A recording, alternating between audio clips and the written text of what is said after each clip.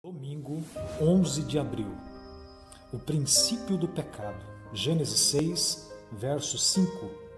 Viu o Senhor que a maldade do homem se havia multiplicado na terra e que era continuamente mal todo o desígnio do seu coração. A opinião de Deus no final da criação foi que tudo era muito bom. Gênesis 1, 31. Então o pecado entrou e o paradigma mudou as coisas não eram mais muito boas. A ordenada criação de Deus foi arruinada pelo pecado e por todos os seus resultados abomináveis. A rebelião atingiu proporções terríveis nos dias de Noé. O mal consumia a humanidade. Embora a Bíblia não nos apresente muitos detalhes, as transgressões e rebelião eram claramente algo que nem mesmo um Deus amoroso, paciente e perdoador poderia tolerar. Como as coisas ficaram tão ruins rapidamente. Talvez não seja muito difícil encontrar a resposta. Quantas pessoas hoje, ao examinar os seus próprios pecados, não se perguntam o mesmo: como as coisas ficaram extremamente ruins um modo tão rápido? Interessante que alguns versos do livro de Gênesis dão uma ideia da progressão constante do pecado. Em Gênesis 3:6 mostra a tentação e a queda, o desejo dos olhos. Em Gênesis 3, 11 a 13, fala da resposta de Eva, a transferência da culpa. Em Gênesis 4, 5, fala da ira e do semblante caído por Deus não ter aceitado a oferta de Caim. Em Gênesis 4:8, Caim mata o seu irmão. Em Gênesis 4:19 aparece a poligamia de Lameque.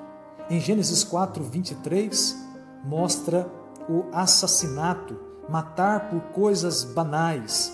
Gênesis 6:2, julgo desigual, fornicação, adultério. Gênesis 6, 5 e 11, a maldade se multiplicando e a terra corrompida. Interessante que isso não aconteceu por acaso. Houve uma história antes destas situações. Esse resultado terrível teve uma causa. O pecado piorou progressivamente e essa é a sua tendência. O pecado não é como um corte ou uma ferida que possui um processo inerente e automático de cura. Ao contrário, o pecado, se não for contido, multiplica-se, jamais se contentando, até levar à ruína e à morte. Não é preciso imaginar a vida antes do dilúvio para ver esse princípio em funcionamento. Ele existe ao nosso redor, mesmo agora. Os pecados são como círculos na água quando uma pedra é atirada nela. Um produz outro. Quando a ira estava no coração de Caim, o assassinato não estava longe. Pecado é um estado de espírito, não um ato exterior. Apesar de Caim haver merecido a sentença de morte pelos seus crimes, o Criador misericordioso ainda lhe poupou a vida e concedeu-lhe oportunidade para o arrependimento. Entretanto, Caim viveu apenas para endurecer o coração, para incentivar a rebelião contra a autoridade divina e se tornar o líder de uma linhagem de pecadores ousados e perdidos.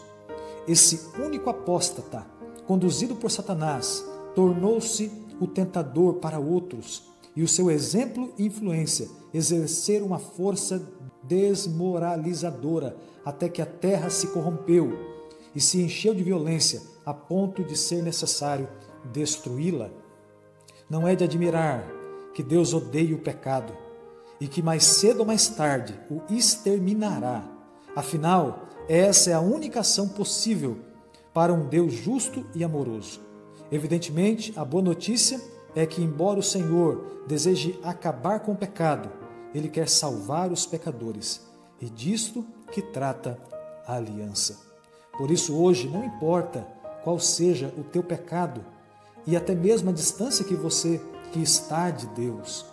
Peça perdão, clame ao Senhor e tenha certeza que Ele ouvirá a sua oração, perdoará o seu pecado e dará a você uma nova vida.